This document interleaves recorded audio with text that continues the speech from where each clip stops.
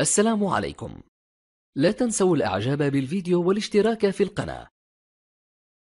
تشجيعا لنا لنستمر بنشر المزيد إن شاء الله.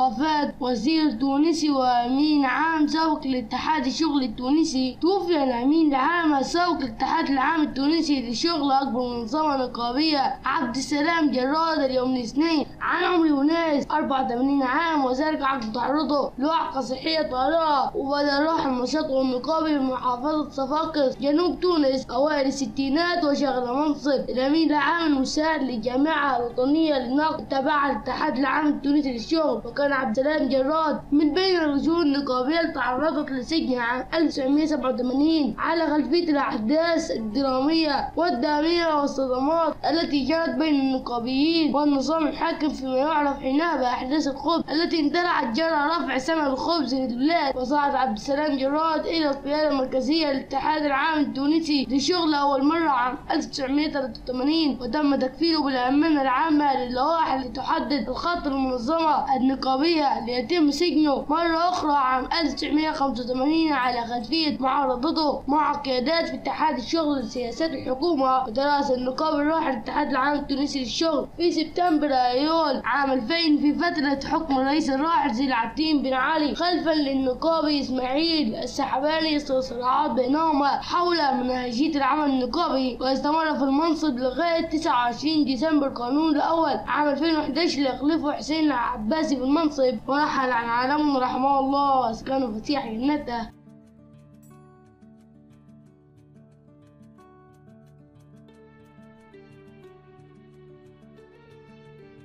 السلام عليكم.